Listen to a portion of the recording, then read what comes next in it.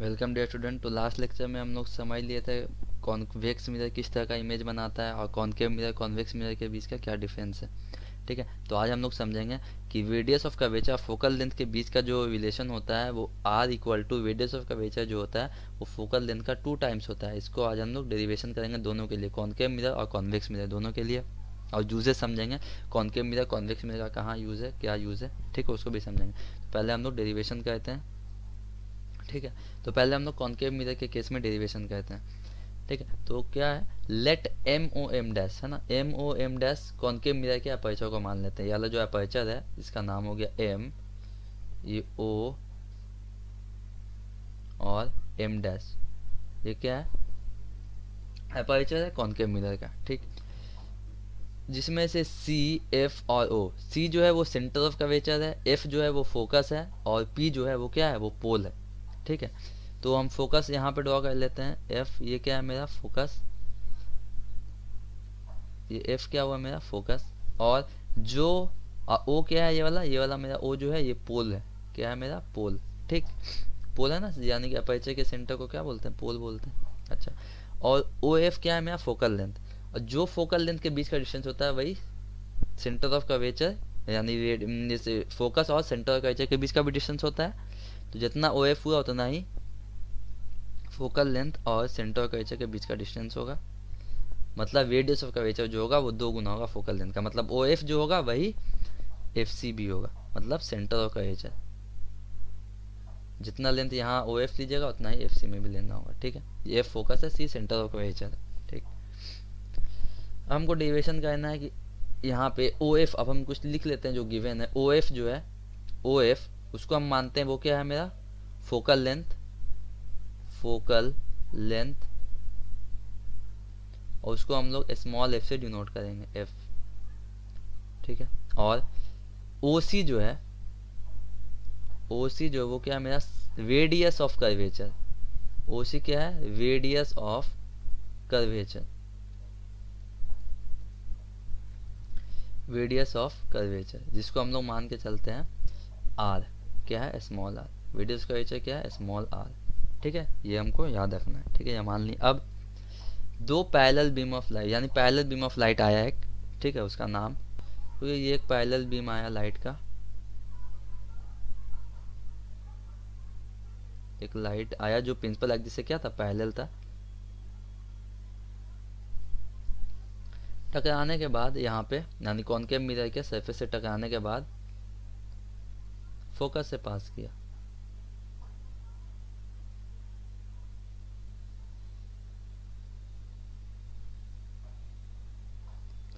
Focus से पास किया। अब हम लॉ ऑफ़ रिफ्लेक्शन से जानते हैं कि जितने एंगल पे लाइट आया है, उतने एंगल पे रिफ्लेक्ट भी करता है, ठीक है? तो ये लाइट आया, और ये रिफ्लेक्ट किया फोकस से पास किया। जो हम लोग रूल में भी समझे, कौन के मिरर का जब रूल पढ़ रहे थे तब भी समझे था। नाम दे देते हैं जो ये था ये पी, क्यू, आर। नाम का क्या था? ये था मेरा। ठीक है। अब जैसे कि हम लोग लॉ ऑफ़ रिफ्लेक्शन जानते हैं क्या होता है? ये एक सरफेस है, ये एक लाइट रे आया, ये इस पे स्टिक किया इंटर इस सरफेस के ऊपर।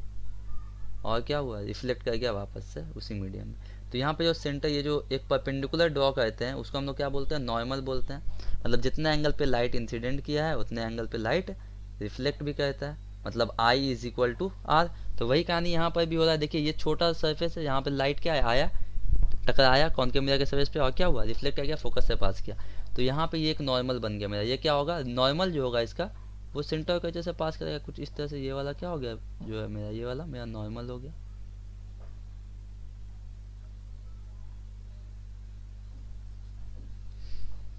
नॉर्मल इस तरह से। ये क्या है नॉर्मल मतलब ये जितना एंगल ऑफ़ इंसिडेंट होगा, जितने एंगल पे लाइट जितना एंगल पे लाइट आ रहा होगा मतलब नॉर्मल से जितना एंगल पे लाइट इंसिडेंट किया है, उतना ही एंगल पे रिफ्लेक्ट भी करेगा। है ना? मतलब कि जितना आई है, उतना ही आर होगा। ठीक है? जैसे कि angle of incidence is equal to angle of reflection तो क्या हम लिख सकते हैं? दोनों को आई मान लेते हैं। जितना पे आया, उतना ही पे तो रिफ्लेक्ट किया है। तो जितना पे आया, उतना ही पे रिफ्लेक्ट किया। तो हम एक बात यहाँ पे लिख देते हैं डायरेक्ट आई जो है, वो ये जितना एंगल वो वाला होगा, वही एंगल यहाँ पर भी होगा। ये आई भी रिफ्लेक्ट भी किया आई से, ठीक है? आगे। अब हम लोग लिखेंगे क्या यहाँ पे? देखिए। एंगल पी क्यू सी ये वाला एंगल जो है। पी मैं कैसे ही देखिएगा, सही से पी क्यू और सी यानी ये वाला एंगल ठीक है? तो वो किसके बराबर है? एफ़ एफ़ क्यू सी यानी एंगल को बीच में रखते हैं ना? एफ़ क्यू सी इसके बराबर है? मतलब यहाँ पे लिख सकते हैं angle P Q C is equal to angle F Q C मतलब किसके? बाय लॉ ऑफ़ रिफ्लेक्शन से। यहाँ पे लिखना है तो लिख दिए लॉ ऑफ़ रिफ्लेक्शन के वजह से। ये हम लिखे हैं, ठीक है? तो इस तरह से डेरिवेशन कहना है, ठीक है? फॉलो स्टेप को फॉलो करना है। Angle P Q C is equal to F Q C क्योंकि दोनों का एंगल सेम है। देखिए, ये वाला भी आई है तो ये वाला भी आई है है ना? दोनों सेम एंगल पे, जितने पे इंसिडेंट किया, उतने पे रिफ्लेक्ट करता है। अच्छा। अब यहाँ पे दो सफ़ेद, जो है पी क्यू पी क्यू और सी ओ इन दोनों लाइन को देखें। पी क्यू और ये वाला जो लाइन है सी ओ ये दोनों क्या है एक दूसरे से? पैरेलल लाइन है ना ये वाला? पी क्यू पी क्यू और सी एक दूसरे से क्या है? पैरेलल है। तो यहाँ पे लिखेंगे since P Q and C O R parallel parallel है तो यहाँ पे कुछ प्रॉपर्टीज़ है जो क्लास एट का याद होना चाहिए। मतलब जब दो पैरेलल लाइन है सपोज़ कि ये एक पैरेलल लाइन है, ये दो एक पैरेलल लाइन है, उसको एक कोई ट्रांसवर्सल कट कहता है। ठीक है? जब कोई ट्रांसवर्सल इसको कट कहता है तो ये वाला एंगल जो होता है, ये वाला एंगल यहाँ पे जो एंगल बना, इसका कुछ कुछ होता है। अल्टरनेट एंगल कॉस्पॉन्डिंग एंगल क्या क्या, वो थोड़ा बहुत अगर नहीं पता है तो जान लेते हैं यहाँ पे, फिर आगे प्रोसीड करते हैं। ये वाला एंगल जो होगा, वो इस एंगल के बराबर होगा। ठीक है? और ये वाला जो एंगल होगा, यहाँ पे ये वाला जो एंगल होगा, वो इस एंगल के बराबर होगा। तो इसको हम लोग क्या, कैसा एंगल बोलते हैं? ये सब मेरा क्या है? कोस्पॉन्डिंग एंगल सपोज़ कि ये नाम देते हैं वन टू इसका नाम दे दिए थ्री और ये हो गया फोर ठीक है? ये सब क्या है? तो यहाँ पे लिख देते हैं वन थ्री एंगल वन जो है angle one equal to angle three मतलब ये angle one angle three equal है. Angle two angle four equal है. ठीक है? तो ये ये दोनों एंगल इसको क्या बोलेंगे? ये कॉस्पॉन्डिंग एंगल है। उसी तरह से नीचे मिलेंगे तो वो कहानी बन जाएगा। और देखिए, ये एंगल टू और एंगल थ्री ये जो एंगल टू है, ये एंगल थ्री के इक्वल होगा, जिसको हम लोग क्या बोलते हैं? ऑल्टरनेट एंगल बोलते हैं। एंगल टू ये एंगल थ्री के इक्वल होगा, जिसको हम लोग क्या बोलते हैं? ऑल्टरनेट एंगल ऑल्टरनेट एंगल और एक बात, इसको और अच्छे से दिखा देते हैं। तो देखिए, ये एक लाइन ठीक है, और ये एक लाइन इसको कट किया, ये एक लाइन इसको कट किया है ठीक है? तो ये वाला जो एंगल है, ये इस एंगल के बराबर होगा। मतलब इसको हम लोग क्या बोलते हैं? सपोज़ कि ये वन है, और यहाँ पे नाम देते हैं इसका वन टू ये हो गया थ्री और ये हो गया फोर ये एंगल वन जो है, वो एंगल थ्री के बराबर होगा। Angle one is equal to angle three और angle two is equal to angle four इस एंगल को हम लोग बोलते हैं वर्टिकली अपोजिट एंगल बोलते हैं। क्या बोलते हैं? Vertically vertically opposite angle vertically opposite angle इसको बोलते हैं, है ना? वन जो एंगल ये वाला होगा, वही ये वाला भी होगा। वन और थ्री दोनों इक्वल टू और फोर दोनों इक्वल ठीक? अच्छा। और ऑल्टरनेट एंगल यहाँ समझ में आ गया, जैसे कि ये वाला जो एंगल वन है वन है, वो फोर के बराबर होगा। ऑल्टरनेट एंगल में। ऑल्टरनेट एंगल जैसे यहाँ पर टू थ्री के बराबर है ना, उसी तरह से वन ऑफ़ वन जो है, वो मेरा फोर के बराबर होगा। उसको हम लोग क्या बोलेंगे? ऑल्टरनेट वो भी ऑल्टरनेट एंगल कहलाएगा। ठीक है ना? अब हम लोग समझते हैं से। ये बात अगर समझ में आ गया आपको क्लास एट में पढ़े तो और अच्छे समझ में आ गया होगा। नहीं समझे तो अभी भी क्लियर समझ में आ गया होगा। चलिए, आगे प्रोसीड करते हैं। जैसे हम जानते हैं पी क्यू सी ओ दोनों क्या है? पी क्यू और सी ओ दोनों पैरेलल है। ठीक है? तो यहाँ पे अच्छे से देखिएगा कि पी क्यू सी ये वाला लाइन पी क्यू सी और एफ़ सी क्यू यानी ये वाला जो एंगल आई है, वो इस आई के बराबर होगा। है ना? पी क्यू सी यानी ये देखिए थोड़ा अच्छे से लाइन ये वाला देखिएगा, ये वाला लाइन ये दो पैरेलल लाइन है, इसको एक लाइन कट किया। ठीक है? तो हम बता रहे हैं ये वाला लाइन जो है, ये वाला लाइन इस लाइन के इक्वल होगा। जिसको हम लोग क्या बोलते हैं? ऑल्टरनेट एंगल है। तो ये ये वाला एंगल आई है तो ये वाला एंगल भी आई होगा। ये आई है तो ये भी आई होगा, क्योंकि ऑल्टरनेट एंगल है। अभी हम लोग क्लियर किए। है ना? सिर्फ़ टू फोर था वन फोर के बराबर है। इसको हम ऑल्टरनेट एंगल बोलते हैं। दोनों इक्वल होगा। तो ये वाला आई है तो ये वाला भी आई है। तो क्या हम यहाँ पे लिख सकते हैं? Angle P Q C is equal to angle P Q C is equal to F C Q angle F C Q है ना?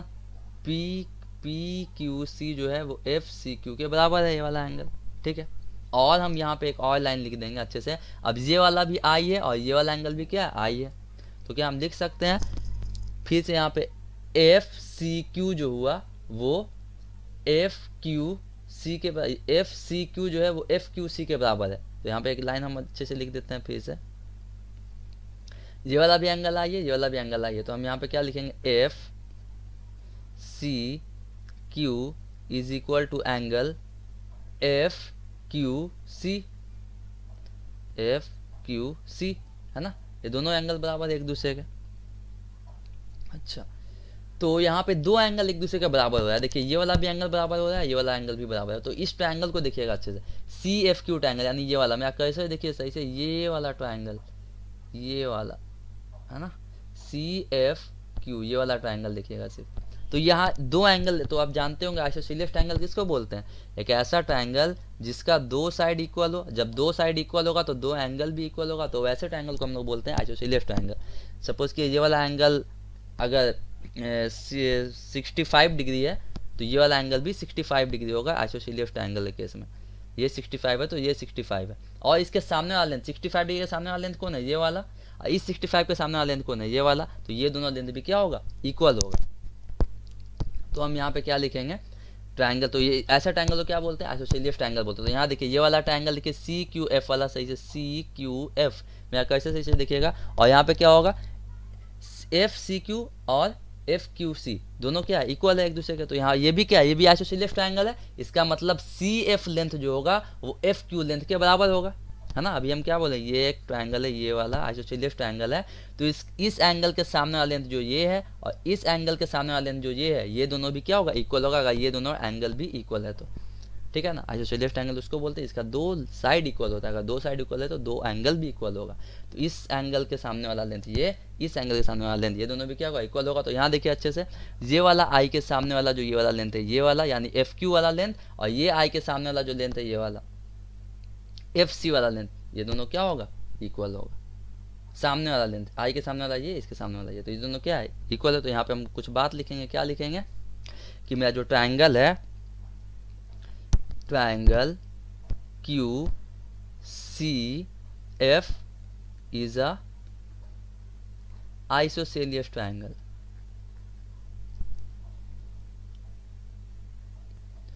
isosceles I S O S C E L E S isosceles triangle तो triangle Q C F क्या हो गया? मेरा isosceles triangle है, ठीक? अब इस केस में क्या है? दो लेंथ इक्वल हो जाएगा मतलब क्या? सी एफ़ और एफ़ क्यू दोनों क्या हो गया? इक्वल हो गया। तो यहाँ पे हम लिख देते हैं सी एफ़ लेंथ जो है, वो सी एफ़ लेंथ ये वाला लेंथ ये वाला लेंथ दोनों क्या हो गया? इक्वल हो गया। एफ़ क्यू के बराबर सी एफ़ लेंथ जो है वो एफ़ क्यू के बराबर है। ठीक है? अच्छा। अब आगे देखिए। अब यहाँ पे अगर हम सपोज़ करें, ये जो अपर्चर है, ठीक है? अपर्चर अगर बहुत स्मॉल हुआ अपर्चर अगर इफ़ अपर्चर बहुत, अगर अपर्चर मेरा जो है मेरा का अपर्चर वो बहुत छोटा हुआ, बहुत स्मॉल हुआ तो क्या होगा इस केस में?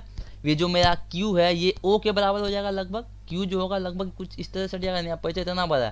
तो ये वाला क्यू और सी क्यू आर ओ में कुछ डिफरेंस समझ में आएगा? दोनों तो लगेगा एक ही जगह पे। क्यू आर ओ लगेगा दोनों एक ही जगह पे। तो अगर मेरा अपर्चर बहुत स्मॉल हुआ तो क्यू और ओ क्या होगा? लगभग करीब करीब होगा एक दूसरे के? ठीक है तो यहाँ पे हम क्या बोल देंगे? एफ़ क्यू जो होगा, वो एफ़ ओ के बराबर हो जाएगा। एफ़ क्यू एफ़ ओ के बराबर हो जाएगा इस केस में। तो यहाँ पे कुछ हम लिख देते हैं एक लाइन सिंस अपर्चर जो है वो क्या है? बहुत स्मॉल है। Since the aperture is since the aperture of the mirror is very small aperture जो है मिरर का वो क्या है? बहुत स्मॉल है। तो Q जो होगा, Q जो होगा और O जो होगा, वो क्या होगा? बहुत क्लोज होगा एक दूसरे के, है ना? तो यहाँ पे क्या लिखेंगे हम लोग? Q and O are very close to each other.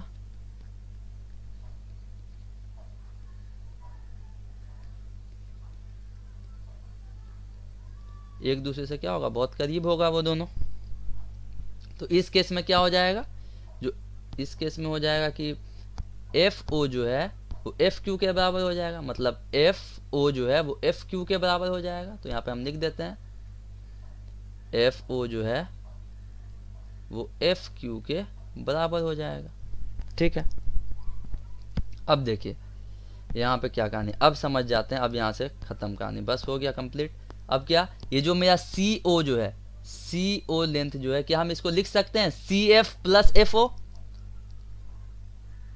है ना? सी एफ़ लेंथ जो है सी एफ़ लेंथ सी ओ जो लेंथ है सी और ओ जो लेंथ है, क्या हम इसको लिख सकते हैं? C F plus F O या फिर हम ऐसे भी लिख सकते हैं ओ सी लेंथ जो है ओ ओ सी लेंथ जो है O F plus F C ऐसे भी लिख सकते हैं दोनों क्या? बराबर है? यहाँ पे देखिए क्या, कुछ हम लाइन इस तरह से लेते हैं, ये वाला। ये वाला मेरा क्या है? सी है, ये वाला मेरा एफ़ है, और ये वाला क्या है? मेरा ओ है। तो हम क्या, यहाँ पे हम लिख सकते हैं ओ सी जो है मेरा, वो O F plus F C के बराबर है। तो यहाँ पे हम लिखते हैं ओ सी जो है, वो मेरा O F plus F C इन दोनों का क्या है? बराबर है। अब देखिए, क्या हम लोग कुछ मान के चले थे ना? ओ सी क्या होता है? वीडियस ऑफ़ होता है। तो यहाँ पे हम क्या लिखेंगे? आर ओ सी की जगह पे आई लिख दिए। और ओ एफ़ क्या है? ओ एफ़ को हम लोग क्या माने थे? एफ़ जो है मेरा क्या? फोकल लेंथ एफ़ है। तो यहाँ पे हम क्या लिखेंगे? ओ एफ़ की जगह पे एफ़ ठीक है? ओ एफ़ की जगह पे एफ़ अब एफ़ सी की जगह पे क्या करेंगे?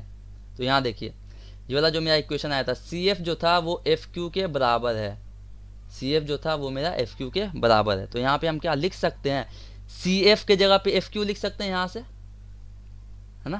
फ्रॉम वन सी एफ़ यानी एफ़ सी सी एफ़ दोनों क्या है? लेंथ एक ही है ना? इसको सी एफ़ बोलेंगे या एफ़ सी बोलेंगे? दोनों तो एक ही लेंथ आएगा यहाँ से दो मीटर है तो यहाँ से ये भी तो दो ही मीटर होगा, ठीक है? तो यहाँ पे बात कुछ भी अगर बोले मीटर में तो नहीं, जितनी सेंटीमीटर बोलेंगे तो। तो दोनों इक्वल होगा। तो क्या हम लिख सकते हैं? सी एफ़ के जगह पे, यहाँ पे ब्रैकेट में लिख देंगे एज सी एफ़ यानी सी एफ़ जो किसके बराबर है, वो एफ़ क्यू के बराबर है तो हम क्या लिख सकते हैं इसको चेंज करके एफ़ सी भी तो लिख सकते हैं एफ़ सी जो है वो एफ़ क्यू के बराबर है, ठीक है, इस तरह से लिख सकते हैं तो यहाँ पे हम लिख सकते हैं एफ़ सी जो है मेरा, वो एफ़ क्यू के बराबर है, ठीक? फ्रॉम वन लिख देते हैं यहाँ पे फ्रॉम वन आगे? R is equal to F plus अब एफ़ क्यू किसके बराबर है तो एफ़ क्यू जो है वो एफ़ ओ के बराबर है एफ़ ओ के बराबर है एफ़ क्यू तो यहाँ पे लिख दिए एज एफ़ क्यू जो है वो एफ़ ओ के बराबर है। और क्या लिख सकते हैं? एफ़ क्यू जो है, इसको चेंज कर देंगे। दोनों का लेंथ तो एफ़ ओ ओ एफ़ दोनों का लेंथ तो सेम ही होगा तो इस तरह से लिख देते हैं। ओ एफ़ के बराबर है, ठीक? तो R is equal to F plus O F ठीक है? इतना कहने का ज़रूरत नहीं, आप डायरेक्ट भी लिख सकते हैं। हम तो तो के अच्छे समझा दे रहे हैं अच्छे से। R R is equal to F और ओ एफ़ किसके बराबर था? अभी हम लोग देखे हैं ओ एफ़ किसके बराबर था? ओ एफ़ जो था फोकल लेंथ एफ़ के बराबर है। यहाँ पे फिर से हम क्या लिख देंगे? एफ़ ठीक है? तो R is equal to F plus F तो देयरफॉर आर का आर इज़ इक्वल टू क्या हो गया? रेडियस ऑफ़ कर्वेचर जो हो गया, वो टू टाइम्स हो गया फोकल लेंथ का। है ना? तो ये देखिए मेरा डेरिवेशन क्या हुआ? आ गया। रेडियस ऑफ़ कर्वेचर जो होता है, वो टू टाइम्स होता है फोकल लेंथ का। तो इसको अच्छे से नोट कर लीजिएगा, ये आता है एग्ज़ाम में। और हम लिख सकते हैं यहाँ से जो फोकल लेंथ होगा, वो radius of curvature by two होगा। इस तरह से भी इसको हम लिख सकते हैं। ये हो गया मेरा डेराइव्ड ठीक है तो तो देखिए, आर को यहाँ, आर को वैसे ही रखेंगे यहाँ पे, यानी कि एफ़ को वैसे ही रखेंगे यहाँ पे, एच टू को नीचे शिफ्ट कर देंगे तो डिवाइड में चलाएगा तो इस तरह से यहाँ प्रूफ हो जाएगा, और यहाँ पे लिख समझ में आ गया यहाँ पे तो इस तरह से हम लोग डेरिवेशन करते हैं। क्लियर तो इस तरह से यहाँ पे मेंशन कर देना है पी क्यू जो है, वो सी ओ के पैरेलल है, इस तरह से डिराइव डिराइव करना है। आई होप आपको क्लियर समझ में आ गया होगा। चलिए हम लोग आगे बढ़ते हैं। तो अब हम लोग कॉन्वेक्स मिरर के लिए समझते हैं। कॉन्वेक्स के लिए डिराइव करते हैं, ठीक है? तो फिर मान लेते हैं हम लोग एम ओ और एम डैश क्या है ये मेरा? अपर्चर है कॉन्वेक्स मिरर का, जिसमें से ओ क्या है मेरा? ओ जो है मेरा वो क्या है? पोल है मिरर का क्या है? वो पोल है। और कॉन्वेक्स मिरर का फोकस किधर होगा? अंदर की तरफ़ होगा यहाँ पे, है ना? तो ऑप्टिकल पोल से पोल और फोकस के बीच का जो डिस्टेंस होगा, वही फोकस और सेंटर ऑफ़ कवेजर के बीच का डिस्टेंस होगा। तो यहाँ पे हम सपोज़ करते हैं टू सेंटीमीटर, यहाँ पे मान लेते हैं ये क्या है मेरा? मेरा फोकस है एफ़ और जितना पोल और फोकस के बीच का डिस्टेंस है, वही फोकस और सेंटर ऑफ़ कवेचर के बीच का डिस्टेंस होगा। यहाँ पे मान लेते हैं क्या है? सेंटर ऑफ़ कवेचर सी है। ठीक है?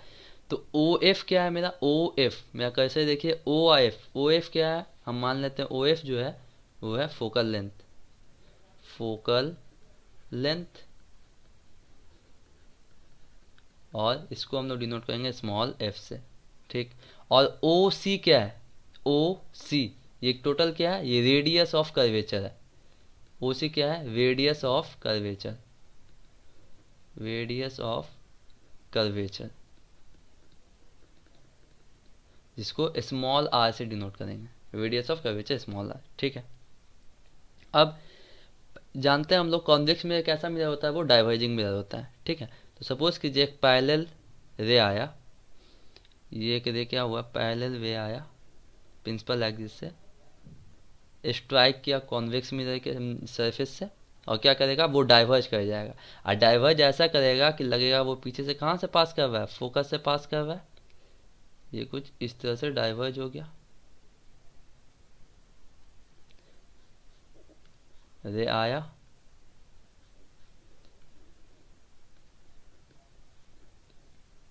और इस तरह से डाइवर्ज करेगी। ठीक है पीछे ऐसा पास किया कि वो फोकस से मीट करेगा। अच्छा अब यहाँ पे एक और अच्छे से देखना है। यहाँ पे नॉर्मल देखिए, यहाँ पे आया इंसिडेंट क्या दे? और ये रिफ्लेक्ट कर गया। मतलब angle of incidence angle of reflection equal होगा। अच्छा तो नॉर्मल कहाँ से पास करेगा? ये एकदम सेंटर से इसके परपेंडिकुलर नॉर्मल पास करेगा। ये कुछ इस तरह से। ये कुछ नॉर्मल इस तरह से पास करेगा। कट करता हुआ इसको। ये सेंटर ऑफ़ कर्वेचर से मीट करेगा ठीक है, ये नॉर्मल डॉ की तो यहाँ पे हम नाम दे देते हैं इसका। सपोज़ कि ये क्या है मेरा? ये आया पी ये यहाँ पे कट, जहाँ पे स्ट्राइक किया, उसकी जगह का नाम है क्यू और इसका नाम हो गया आर ये नॉर्मल है ना, इसको तो नाम दे देते हैं, इसका नाम हो गया एन ठीक है ये नॉर्मल किधर गया है? सेंटर ऑफ़ कर्वेचर की तरफ़। सेंटर ऑफ़ कर्वेचर की तरफ़, पूरा परपेंडिकुलर है इसके। ठीक है, अब जानते हैं हम लोग कि एंगल ऑफ़ इंसिडेंट जो होता है, वो एंगल ऑफ़ रिफ्लेक्शन के बराबर होता है तो यहाँ पे लिख देते हैं I I is equal to किसके बराबर होगा? आई ये आर है ना? जैसे हम लोग law according to law of reflection हम लोग जानते हैं लॉ ऑफ़ रिफ्लेक्शन से हम लोग जानते हैं। अभी हम लोग देखें लॉ ऑफ़ रिफ्लेक्शन क्या जानते हैं? एंगल आई जो होता है वो एंगल आर के बराबर होता है तो हम लोग एंगल आर नहीं लिख के आई लिख देते हैं। तो जो एंगल इंसिडेंस करेगा, उतना ही एंगल पे रिफ्लेक्ट करेगा। अगर दस डिग्री पे इंसिडेंट करता है तो दस डिग्री पे रिफ्लेक्ट करेगा। ठीक है तो ये वाला आई है तो ये वाला भी क्या हो गया? आई मान लेते हैं हम लोग। अच्छा अब हम लोग लिखते हैं। क्या? कि एंगल पी में कैसे देखिए? पी क्यू एन ये वाला जो एंगल है, ये वाला ये वाला जो एंगल है पी क्यू एन वो आर क्यू एन के इक्वल है। पी क्यू एन ये वाला जो एंगल है, वो आर क्यू एन यानी ये वाला एंगल क्या है? इक्वल है। ठीक है तो यहाँ पे हम पहले लिख देते हैं। एंगल एंगल ये एंगल का साइन है। Angle P Q N is equal to angle R Q N कैसे हुआ? तो by law of reflection by law of reflection ये एग्ज़ाम में प्रूफ करने देता है। ठीक है, ये वाला एग्ज़ाम में नज़र आता है। जनरली कॉन्केव मिरर के लिए पूछता है कॉन्वेक्स मिरर के लिए बहुत कम पूछता है। रिफ्लेक्शन लॉ ऑफ़ रिफ्लेक्शन से हम लोग ये लिखते हैं P Q N I Q N के इक्वल है। अच्छा अब थोड़ा अच्छे से देखना है। ये वाला लाइन देखिएगा, ये वाला। ये वाला जो है मतलब एन सी ये वाला लाइन और पी और आर एफ़ ये वाला लाइन ठीक है, इसको समझना अच्छे से। जैसा कि हम लोग कॉन्केव मिरर में भी अब हम लोग देखे हैं, क्या कि सपोज़ कि ये ये एक लाइन है पैरेलल लाइन ठीक है, ये एक लाइन है सपोज़ कीजिए एक पैरेलल लाइन है ऐसे कोई एक ट्रांसवर्सल कट करता है। तो यहाँ पे याद रखना, ये वाला जो एंगल है, ये वाला एंगल और ये वाला एंगल और ये वाला एंगल और ये वाला एंगल ये एक दूसरे से क्या है? सपोज़ कीजिए वन टू थ्री फोर हम नाम दे देते हैं। तो वन आर थ्री और two R four angle one equal to angle three angle two is equal to angle four ये सब एंगल कैसा हो गया? तो ये सब क्या हो गया? वर्टिकली अपोजिट एंगल है। कैसा एंगल है? वर्टिकली वर्टिकली अपोजिट एंगल होता है ये सब। वर्टिकली अपोजिट एंगल वहीं से अगर आप इसको याद है तो आप यहाँ पे देखिए आर क्यू एन ये वाला एंगल जो है, वो सी क्यू एफ़ के बराबर होगा। ये कुछ इस तरह सपोज़ कीजिए, अगर यहाँ से भी एक लाइन ऐसे कट किया तो सपोज़ कीजिए ये वाला जो एंगल होगा, वो ये ये वाला भी सेम एंगल होगा, कुछ इस तरह से है यहाँ पे। है ना? ये वाला देखिएगा आर एन सी और आर एफ़ जो एंगल यहाँ बना है, वही एंगल यहाँ भी बनेगा। इस तरह से भी आप सोच सकते हैं। तो एंगल यहाँ पे जो आई है, वही एंगल क्या होगा? यहाँ पर भी वही एंगल आई होगा। ठीक है? तो हम लिखते हैं आगे। क्या लिखेंगे कि अब हम यहाँ पे क्या कंपेयर कर सकते हैं यहाँ पे अच्छे से? यहाँ पे जो आई होगा, ये वाला आर क्यू एन वो सी क्यू एफ़ के बराबर होगा। आर क्यू एन ये वाला एंगल जो आई है, वही सी क्यू ये वाला पॉइंट क्यू है, और एफ़ इसके बराबर होगा। क्यू एफ़ इसके बराबर होगा, ठीक? तो यहाँ पे हम लिखते हैं, अगर कैसा एंगल है ये दोनों एक दूसरे से तो वर्टिकली अपोजिट एंगल है एक दोनों एक दूसरे से, ठीक है? तो लिख सकते हैं यहाँ पे हम angle R Q N is equal to angle C Q F तो ये दोनों कैसा एंगल है? एक दूसरे से वर्टिकली अपोजिट एंगल है। तो यहाँ पे हम लिख देंगे कि angle R Q N R Q N ये वाला, और सी क्यू एफ़ ये दोनों एक दूसरे से क्या है? वर्टिकली अपोजिट एंगल तो यहाँ पे लिख देना है, क्या है एक दूसरे से? तो वर्टिकली अपोजिट है। एक दूसरे से वर्टिकली अपोजिट ठीक? अब जैसे कि यहाँ पे, अब हम लोग क्या क्या पता चल गया यहाँ से? इसको देख के मतलब P Q N P Q N R Q N के इक्वल है। ठीक है? और आर क्यू एन वो सी क्यू एफ़ के इक्वल है। तो यहाँ से क्या हम बोल सकते हैं? P Q N P Q N वो भी, वो किसके इक्वल है? वो मेरा सी क्यू एफ़ के बराबर होगा मतलब ये वाला एंगल पी क्यू एन ये वाला एंगल और सी क्यू एफ़ ये दोनों भी तो इक्वल हो गया, क्योंकि सब एंगल तो आई है तो ये दोनों भी आई हो गया। तो यहाँ पे हम अगला लाइन लिखेंगे। Therefore angle P Q N is equal to angle C Q F कैसे देखिए सही से पी क्यू एन ये वाला एंगल जो है, वो सी क्यू एफ़ इस एंगल के इक्वल है। तो यहाँ से हम ये बात भी लिख सकते हैं। अब अब हमको क्या पता है, ये वाला जो पी क्यू है पी क्यू ये वाला रे, ये वाला लाइन और ओ सी ये वाला लाइन, एक दूसरे से क्या है, ये ये दोनों लाइन एक दूसरे से पैरेलल है। तो यहाँ पे हम लिखेंगे since since P Q and O C एक दूसरे क्या है आर पैरेलल दोनों एक दूसरे से पैरेलल है। आर पैरेलल ठीक। तो यहाँ से हमको और एक बात पता चल गया कि जब दो लाइन क्या, एक दूसरे से पैरेलल है दोनों तो यहाँ पे और एक बात पता चल गया कि एंगल पी क्यू एन ये वाला जो एंगल है एंगल पी क्यू एन और एफ़ सी क्यू ये वाला एंगल ये वाला भी क्या हो एक दूसरे से इक्वल होगा। P Q N F C Q F C Q यानी ये वाला एंगल ये भी क्या होगा आई होगा। ठीक है? ये दोनों भी एक दूसरे से इक्वल होगा। ठीक है? कैसे? अब यहाँ पे दिखाते हैं हम। सपोज़ कीजिए, ये एक लाइन है, एक पैरेलल लाइन है ये इस तरह से। ये लाइन एक कट किया है इसको। ठीक है? तो अब यहाँ पे यहाँ ये वाला जो एंगल बनेगा, वही एंगल यहाँ पर भी बनेगा, दोनों सेम एंगल बनेगा ना? वही हाल यहाँ पर भी ये देखिए, ये एक पैरेलल लाइन है, ये भी ओसी भी क्या है? पैरेलल लाइन है। ये वाला नॉर्मल इस तरह से कट करते हुए गया है। कैसे को देखिए तो यहाँ पे जो ये वाला जो एंगल बनेगा आई तो यहाँ पर भी ये वही एंगल बनेगा आई लिख सकते हैं तो यहाँ पर हम क्या लिखेंगे? अच्छा पी क्यू और सी दोनों पैरेलल है, इसके वजह से यहाँ पे मेरा एंगल पी क्यू एन जो है, वो एंगल एफ़ सी क्यू के बराबर हो गया। मतलब पी क्यू और एन ये वाला जो एंगल आई है ये, वो एफ़ सी क्यू यानी ये वाला आई है तो ये वाला भी आई ही होगा। ठीक है? ये वाला भी क्या है? मेरा आई है। अब यहाँ पे फिर से क्या आ गया? यहाँ पे फिर से आइसोसेलियस ट्रायंगल आ गया फिर से। अब आइसोसेलियस ट्रायंगल का क्या प्रॉपर्टी होता है? दो, एक आइसोसेलियस ट्रायंगल इसका बोलते हैं, इसको बोलते हैं जिसका दो साइड क्या हो इक्वल हो। अगर दो साइड इक्वल है तो दो एंगल भी इक्वल होगा। तो यहाँ पर भी कुछ वही सेम कहानी आगे देखिए, ये वाला एंगल आइए ये वाला भी एंगल आइए तो ये वाला जो ट्रायंगल है एफ़ सी क्यू ये वाला ट्रायंगल एफ़ सी और ये क्यू ये भी मेरा एक आइसोसेलियस ट्रायंगल है। हम लोग जैसे कि देखें कौन के मिरर में भी वही देखें, ये एक ट्रायंगल है। और ये इसका ये वाला लेंथ इक्वल है और ये वाला लेंथ ये दोनों लेंथ क्या है इक्वल है? सपोज़ ये दो मीटर है तो ये भी दो मीटर तो इसके सामने वाला जो ये वाला एंगल होगा, वही एंगल क्या होगा? ये वाला भी होगा। दोनों एंगल क्या होगा? सेम होगा। ठीक? तो यहाँ पर हमको क्या पता चल गया? ये वाला है तो ये वाला भी है तो क्या हम ये लाइन लिख सकते और बात पता चल गया क्या? कि F C Q F C Q C Q F के इक्वल है। तो यहाँ पे हम ये भी लिख देंगे angle F C Q is equal to angle C Q F दो एंगल इक्वल हो गया F C Q C Q F ये दोनों क्या हो गया? इक्वल हो गया एक दूसरे से। डैट इज़ इसका मतलब क्या है? डैट इज़ लिख सकते हैं ट्राइंगल सी क्यू एफ़ कुछ भी ट्राइंगल ये जो ट्राइंगल है मेरा सी क्यू एफ़ ट्राइंगल वो क्या है? एक आइसोसेलियस ट्राइंगल है। Is an isosceles triangle isosceles triangle जिसका दो एंगल इक्वल है तो क्या होगा? दो साइड भी इक्वल होगा मतलब कौन कौन सा साइड तो इसके सामने वाला साइड मतलब ये वाला। इस एंगल के साइड वाला, इस एंगल के सामने वाला साइड कौन है? क्यू एफ़ है। इस एंगल के सामने वाला साइड कौन है? एफ़ सी है। तो क्यू एफ़ और एफ़ सी ये दोनों क्या होगा? इक्वल हो जाएगा। तो यहाँ पे हम लिख सकते हैं अगला लाइन हेंस इसका दो एंगल आइसोसेलियस एंगल का दो एंगल इक्वल है इसके वैसे इसका दो सामने वाला साइड भी क्या होगा? इक्वल होगा एक बार और देख लीजिए कौन सा एंग, कौन सा साइड इस एंगल के सामने वाला साइड क्यू एफ़ और इस एंगल के सामने वाला साइड एफ़ सी ये दोनों इक्वल होगा।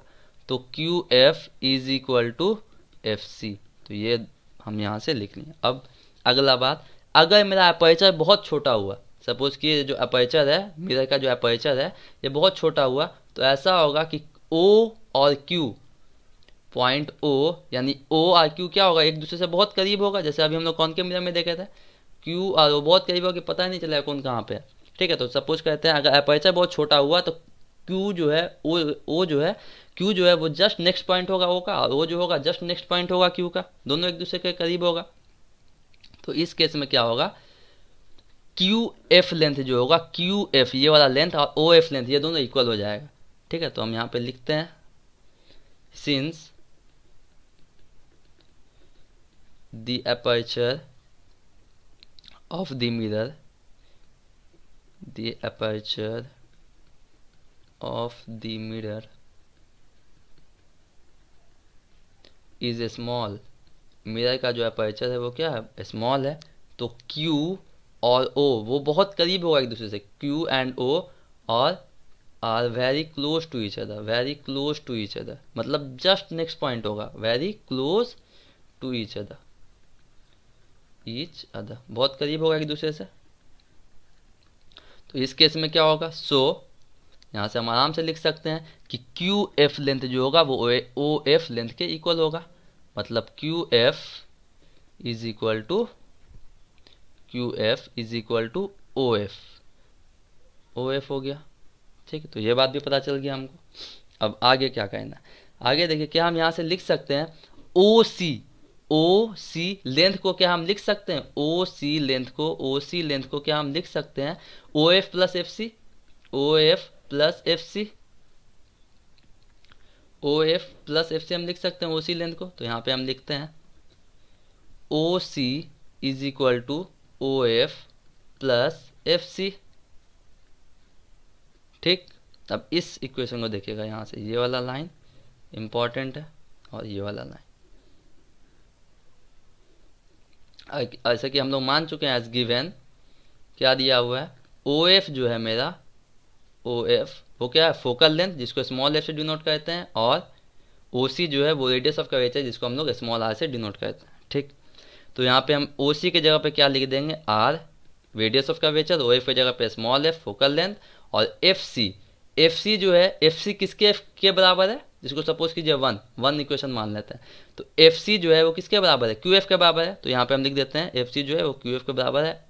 किसके according according to equation equation one one equation के अकॉर्डिंग ये हम लिख सकते हैं। अच्छा अब क्यू एफ़ किसके बराबर है? ओ एफ़ के बराबर है। इसको सपोज़ कीजिए इक्वेशन नंबर टू मान लीजिए।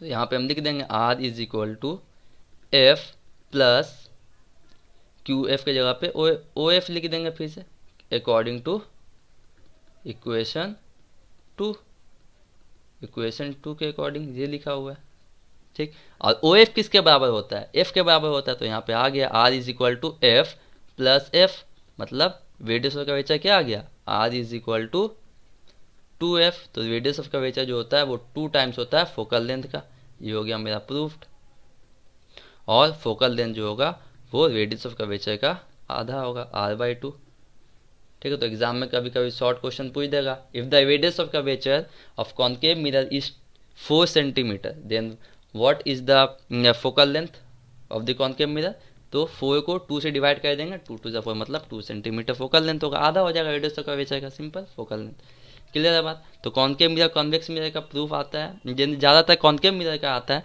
तो इस तरह से हम लोग प्रूफ करेंगे। अब हम लोग यूज़ समझते हैं कॉन्केव मिरर का कॉन्वेक्स मिरर का यूज़ क्या है। कॉन्केव मिरर को कहाँ यूज़ करते हैं? तो concave mirror are often use as shaving glasses mirror है ना?